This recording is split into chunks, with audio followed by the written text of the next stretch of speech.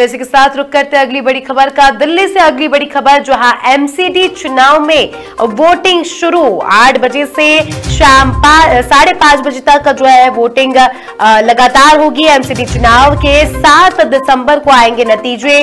250 ward में तेरह उम्मीदवार चुनावी मैदान में उतरे। सीएम केजरीवाल की लोगों से वोट डालने की अपील।